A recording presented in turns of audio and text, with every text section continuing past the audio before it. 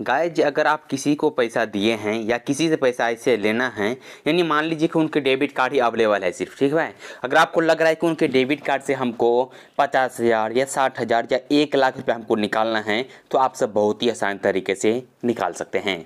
इसके लिए आपको एक अप्लीकेशन का ज़रूरत पड़ेगा। इसका नाम है एयरटेल थैंक्स अप्लीकेशन ये अप्लीकेशन मैं बता दूँ कि पहले आपको पेमेंट बैंक को ओपन करना पड़ता है। पेमेंट बैंक ओपन करने के लिए आपको कोई भी मर्चेंट अकाउंट पे आ जाना पड़ेगा, जिधर आपको जो एयरटेल पेमेंट बैंक ओपन करता है, उधर से जाकर आप एयरटेल पेमेंट बैंक को ओपन करवा लीजिएगा, ठीक है? ओपन करवाने के बाद फाइनली आपको ये ओपन वाला ऑप्शन पे क्लिक करना पड़ेगा आपको। जैसे ही ओपन वाला ऑप्शन पे क्लिक करेंगे एयरटेल थैंक्स एप्लीकेशन ओपन हो जाएगा। ओपन होने के बाद आपके सामने कुछ इस प्रकार का इंटरफेस शो होगा।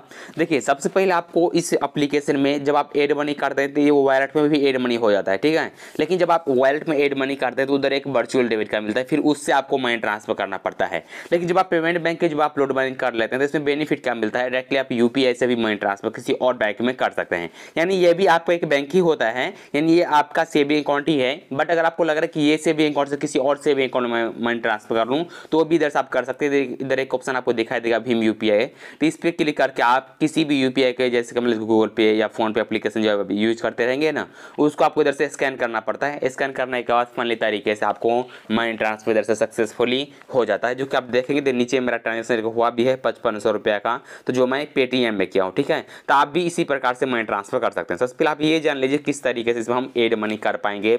दस हज़ार हो या बीस हज़ार हो, वो कैसे कर पाएँगे? तो इधर एक ऑप्शन आपको सबसे पहले दिखाई देता है एड मनी का, ठीक है? तो लेकिन पेमेंट बैंक ही आपको ओपन करना पड़ेगा। क्योंकि अगर पेटीएम पेमेंट बैंक में अगर आप एड मनी करेंगे तो सिर्फ़ सिर्फ़ दो हज़ार ही होता है एक बार में, ठीक है? लेकिन इसमें भी इससे पहले किया गया था सिर्फ़ दो ही हज़ार बट अभी नया अपडेट के अनुसार आप जितना चाहे उतना एक बार में लोड मनी कर सकते हैं, जैसे कि मैं एड मनी पे क्लिक करता हूँ। इधर चॉइस कर लेता हूँ दस हज़ार रुपया में, ठीक है? तो ये एग्ज़ाम्पल के लिए मैं लेता हूँ, आपको दिखाता हूँ कि सक्सेसफुली होता है कि नहीं, इस पर आपको क्लिक करना पड़ेगा।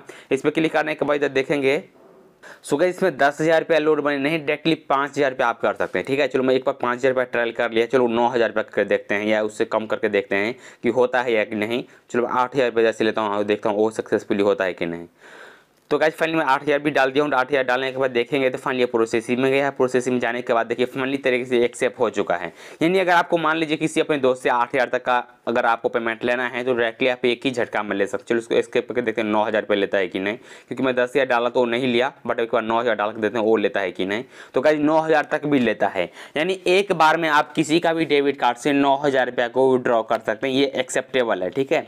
उसके बाद आपको नया डेबिट कार्ड से एड मनी करने के लिए एक ऑप्शन आपको दिखाई देगा add new debit card credit card इस पर आप क्लिक कर सकते हैं। लेकिन पेमेंट बैंक में कभी भी क्रेडिट कार्ड एक्सेप्ट नहीं होता है।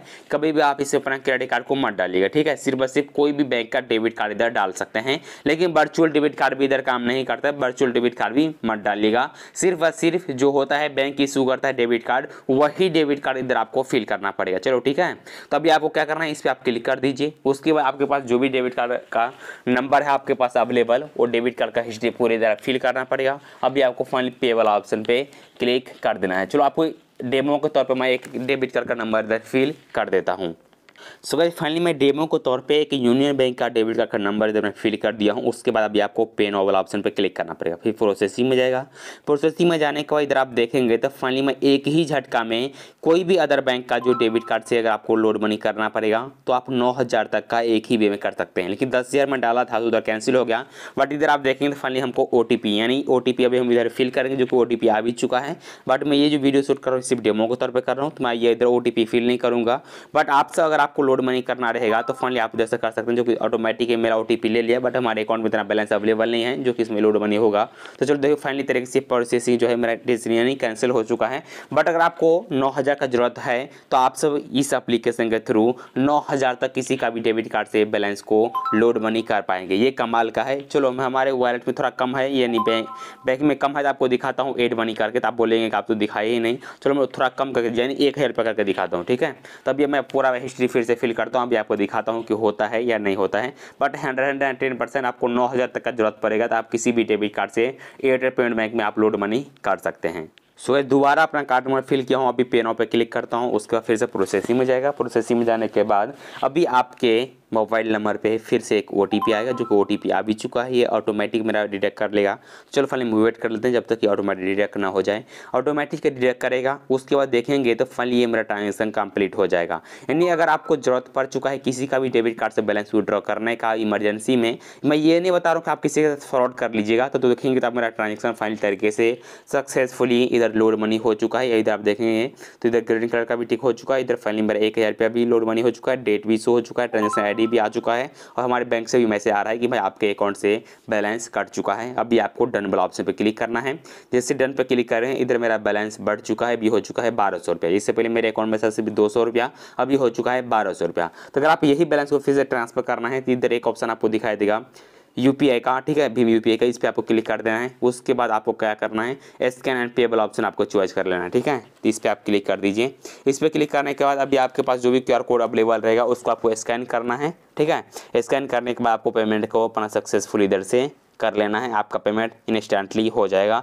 अदरवाइज़ अगर आपके पास कोई यू पी अवेलेबल है तो यूपीआई के थ्रू भी आप मनी ट्रांसफ़र कर सकते हैं। ये भी इधर ऑप्शन है तो आप इधर से भी मनी ट्रांसफ़र कर सकते हैं।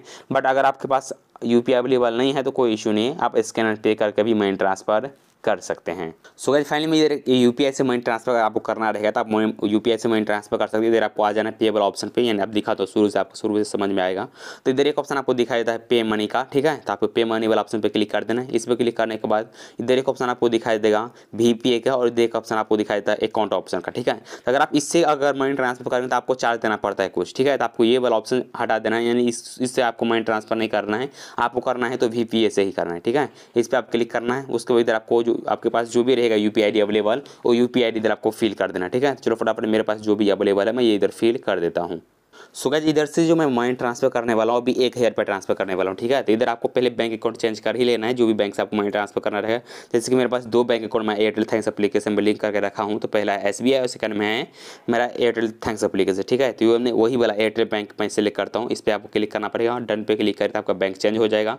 उसके बाद अभी आपको पे पे क्लिक कर देना है पे पे क्लिक करने के बाद जो भी आपका एम पिन है, वो एम पिन डालना पड़ेगा, उसके बाद ऑटोमेटिक ले लेगा। उसके बाद इधर आप देखेंगे तो फाइनल तरीके से आपका पेमेंट सक्सेसफुली हो जाएगा। इधर आपको दिखा पा रहे हैं, ओके पे आपको क्लिक कर दें, ठीक है? ओके पे क्लिक करेंगे, आपका पेमेंट फाइनली सक्सेसफुली हो जाएगा। अभी आप जो भी यूपीआई के थ्रू मैंने ट्रांसफ़र किए हैं, उस यू पी आपको जाकर चेक करना है कि आपको पेमेंट आया है कि नहीं। तो मेरा तो जैसे ट्रांजेक्शन कंप्लीट हो चुका है, जो कि वन का है, चलो इस पर हम क्लिक करते हैं डन पे क्लिक करते हैं। उसके बाद चलते हैं अभी फ़ोनपे अप्लीकेशन में।